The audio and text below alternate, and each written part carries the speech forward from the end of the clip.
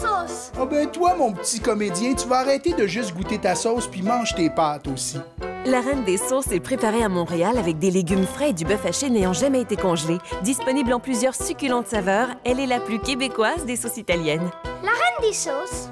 Elle est folle capotenta! La reine des sauces.com